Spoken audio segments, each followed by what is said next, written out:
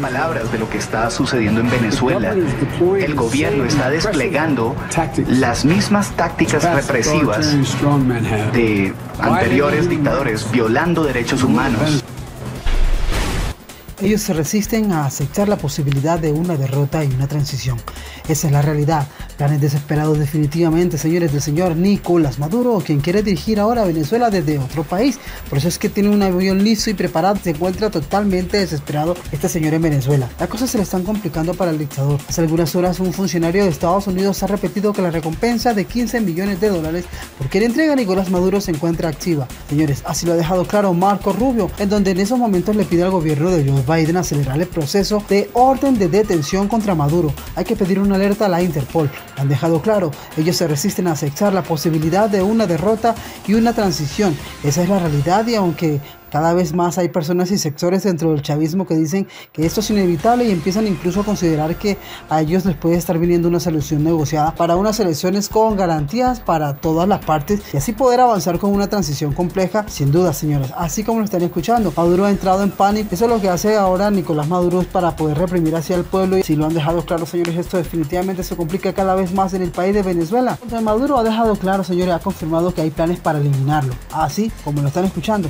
hay planes para eliminar al dictador, para darlo de baja y que va a capturar, señores, a todos los que estén intentando hacer algo en su contra. Y esto puede ser realmente verdad, señores, porque todo esto es con el fin de asustar a quien, a María Corina Machado, cuando ella ha repetido que eh, ha asegurado y ha dejado ya confirmado que a nosotros no nos van a vetar, ya tenemos planes de liberar a Venezuela a cualquier costo. Sabemos que Maduro está preparando mi captura, pero no lo van a lograr. Lo habría dejado claro María Corina Machado contundentemente, señores, este mensaje se lo ha dejado claro al chavismo, pero no se va a doblegar, señores. No se va a estar doblegando porque sería el escenario del panorama y que se fuera del Palacio de Miraflores, señores, totalmente vigilado. Nicolás Maduro, escoltado una vez más porque él teme en estos momentos de cualquier acción por parte de la justicia internacional. Hay planes en Venezuela porque Maduro ha repetido, están intentando planes para eliminarme. Hay planes para darme de baja, así lo habría dejado claro Nicolás Maduro, señores, en el Palacio de Miraflores en Venezuela. Así como lo están escuchando, mis amigos, continuamos con más información. Fíjense ustedes, gobierno Joe Biden, declarando a Venezuela una amenaza inusual y extraordinaria contra la seguridad nacional de los Estados Unidos Norteamérica. Mis amigos presten mucha atención a esta información importante porque la administración del país del norte ha asegurado que Venezuela es catalogada, señores, así como lo escuchan, catalogada como una emergencia internacional. Las importaciones ahora y exportaciones, todas estas sustancias están llegando hasta lo más profundo de Europa y ahora Nicolás Maduro es el principal culpable de todo esto. El régimen fue catalogado como un peligro para el continente. Países latinoamericanos aseguran que sus jóvenes están cayendo en todos estos vicios y sustancias que son salidas de Venezuela Cuba y Colombia. Son países que no hacen nada para solucionar toda esta problemática internacional. Ahora uno de los mayores aliados de Nicolás Maduro, como sabemos, es Gustavo Petro, el presidente colombiano. Ambos son acusados por ser grandes narcoterroristas y por eso el país estadounidense ha realizado fuertes acciones contra estas personas. El Comando Sur habría activado operaciones de máxima unidad y presión para derrocar así definitivamente a todos estos transportes de sustancias ilícitas y ya el grupo Elite, señores del Comando Sur, se encuentra en el Caribe frente a las costas venezolanas, erradicando todas estas organizaciones criminales asociadas al régimen, señores, nada más ni nada menos que de Nicolás Maduro, Diosdado Cabello, mis amigos. Así como lo escuchan, vamos con más información. Precisamente, Nicolás Maduro ha sido acusado gravemente y es por eso que el dictador ahora se está viendo implicado en varias culpabilidades que lo podrían conllevar a ser juzgado ante la Corte Penal Internacional por sus múltiples delitos en Venezuela. Por eso el pueblo ahora lucha por sus derechos y piden acciones contundentes para derrocar a este este gobierno que está sobrepasando todos los límites los cuales eran prohibidos de pasar. Mientras que por otra parte la oposición, como sabemos, de Venezuela, señores, ha denunciado las últimas protestas ante el Consejo General de las Naciones Unidas para que le impongan urgentemente un pare a todo esto que está sucediendo, señores, en el país caribeño. La oposición ha realizado un llamado bastante importante a toda la comunidad internacional para que apoyen cualquier acción que derroque a Nicolás Maduro definitivamente del cargo, señores. Salga definitivamente este régimen del poder porque el pueblo lo está pidiendo a grito y se pueden realizar definitivamente elecciones democráticas, libres y justas en el país caribeño, mis amigos. Así como lo están escuchando, vamos a ver dónde va a parar toda esta situación. Crece la tensión en el país de Venezuela entre la oposición y el, y el régimen de Nicolás Maduro. Continuamos con más información. Y continuando con más titulares del momento, vergüenza mundial. Nicolás Maduro es el candidato presidencial del chavismo en Venezuela. El régimen sigue su plan de perpetuarse. Así como lo escuchan, el presidente de Venezuela, Nicolás Maduro, fue elegido por su partido para buscar un tercer mandato consecutivo en las elecciones del 28 de julio. Reunido en asambleas en diferentes estados del país, el gobernante Partido Socialista Unido de Venezuela, APSUD, decidió por Maduro de 61 años, que ya figuraba el candidato natural. De hecho, nadie desafió su postulación dentro de un chavismo muy disciplinado en tiempos electorales.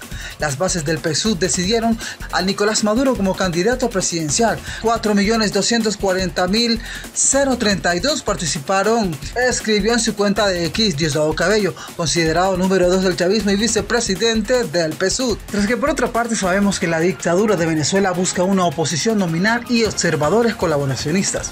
Desde hace dos años quizás tres, se comenzó a hablar de la nueva estrategia para lidiar con el tirano. Menos sanciones, más diálogo y por supuesto más petróleo. Sin embargo, la gran sorpresa fue María Corina Machado. Eso nadie lo vio venir, mis amigos. Así como lo están escuchando, la dama de hierro es la piedra en el zapato de toda esta dictadura en Venezuela, porque ahora la dirigente opositora habría desbaratado todos los planes de la dictadura. Un 92% de respaldo popular le dio lugar que Maduro y la comunidad internacional le negaban. Ella ha dejado claro que su lucha es hasta el final y que la dignidad del pueblo no se negocia. La cohabilitación no es un cáncer que se niega a morir de vejez. Un ex alto funcionario estadounidense de cuyo nombre no quiero acordarme dijo que lo más importante no es el candidato sino el proceso. Se equivocó. María Corina Machado ha demostrado que sí existe diferencia. El presidente de Brasil, Luis Ignacio Lula da Silva, es otro devoto de la cohabitación con el tirano. Ha dicho con harto cinismo que la oposición debe dejar de lloriquear y buscarse otro candidato, es decir, que el chavismo siga siendo añicos al país por 25 años más. La derrota moral. Partido Socialista Unido de Venezuela realizó un simulacro de primarias. Según el oficialismo, 4.2 millones de militantes participaron en la consulta, debate y postulación. En la práctica jamás hubo una consulta ni mucho menos debate. Maduro siempre fue el candidato único. Bajo la sombra de Chávez, el 5 de marzo, fecha del fallecimiento de Hugo Chávez, el Consejo Nacional Electoral anunció la celebración de elecciones presidenciales el próximo 28 de julio justo el día del nacimiento del tirano. ¿Todavía alguien duda de que habrá fraude en Venezuela? ¿Será que no? Pues no queda ninguna duda. Maduro quiere una oposición sumisa y omisa, complaciente y nominal. Los candidatos de papel ya están listos. Fueron diseñados a la medida de, las aspiraciones del tirano.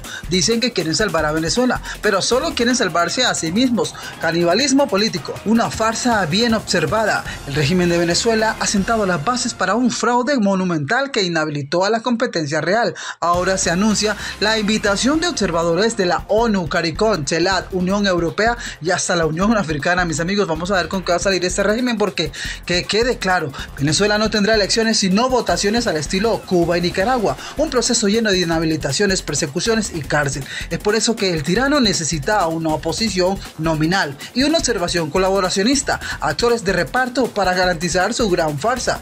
El mundo al revés, mientras la comunidad internacional tiene como prioridad contener la migración y garantizar el petróleo. Para los venezolanos lo más importante es la libertad y el fin de 25 años del régimen corrupto, inepto y empobrecedor. Nicolás Maduro podría ser detenido, señores. Ese es el pedido que hace el Tribunal Supremo de Justicia venezolano en el exilio. Ya condenaron a Nicolás Maduro, señores, como sabemos, por corrupción. Argumentan que la detención sería válida en estos momentos. El pedido internacional es para que aceleren la orden de petición de captura contra Maduro. Y eso no es todo, señores. Se ha confirmado también que nuevas aeronaves de Estados Unidos han sobrevolado el espacio aéreo venezolano, en donde tienen plenamente vigilado, señores, a Nicolás Maduro aviones espías. Así como lo escuchan, señores, aviones espías norteamericanos no dejan dormir a Nicolás Maduro porque han estado incursionando y han estado vigilando. Y esto se da después de que María Corina Machado, quien sabemos que es la contendora más fuerte de Nicolás Maduro de la oposición, hace pocos días fue atacada directamente por los colectivos. Mis amigos sabemos que intentaron eliminar a María Corina Machado y Estados Unidos ahora sigue movilizando a aviones en donde tienen totalmente vigilado al dictador venezolano. Esta es una noticia muy importante, señores, y está confirmada. Tropas norteamericanas estar acomodando su artillería en Guyana y esto solo deja claro, señores, que se acaba de activar la fase final, porque Maduro está tratando ahora de ganar tiempo para no entregar el poder como